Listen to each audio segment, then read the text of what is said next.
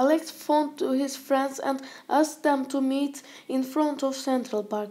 Joe and Chris said okay to come that afternoon. Alex was delighted when mm, he saw his friends. He told about the search which he just finished.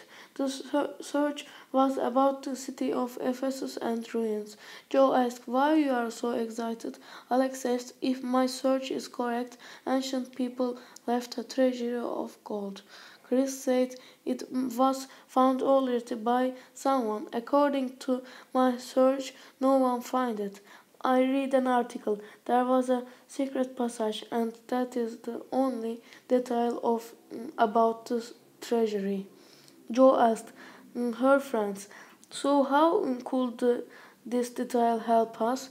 Chris asked, How can we go to mm, Turkey and if we could, no one will allow us to bring treasure. Alex said that do, do not worry. I have a special machine. With help of this machine we can stop the time. They didn't didn't believe, and Alex showed the machine and and when he pushed the button, with the, their surprise, everything around them became frozen. Joe and Chris shouted, "This is incredible!" Chris asked, "How can we go to Turkey?" Alex has a friend whose father has a private plane.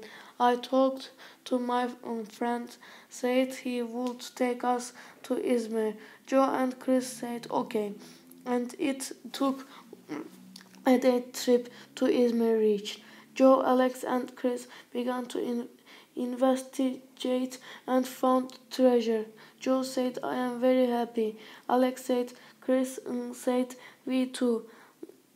And said, and they mm, returned to the United States.